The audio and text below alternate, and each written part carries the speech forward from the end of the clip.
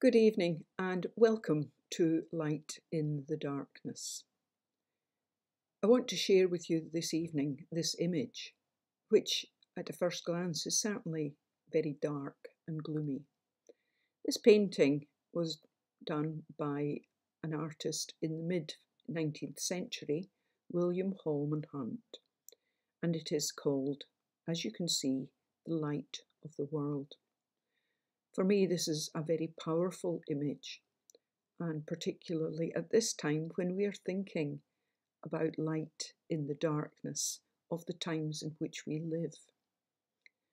There are a few things that are very, very interesting about this painting for me.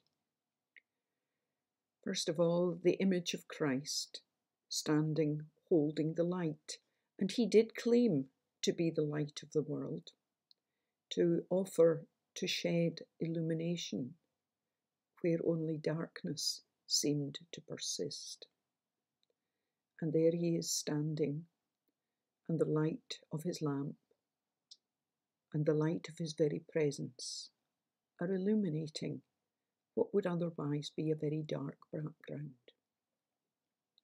But the other thing about this image is that as Christ stands holding the light, he also knocks on a door. It's a door that has been very deliberately painted without a handle on the outside. The only way for Christ to enter is for the person on the other side to open the door. In these dark times, may you find the opportunity and the courage to open the door and allow Christ the light to light up your life.